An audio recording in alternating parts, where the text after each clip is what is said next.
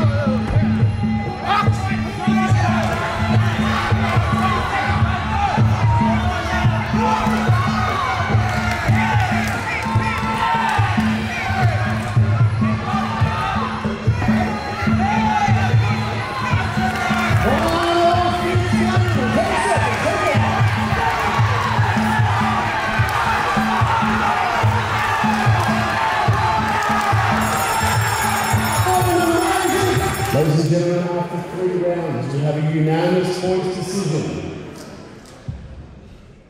Fighting for MMA North.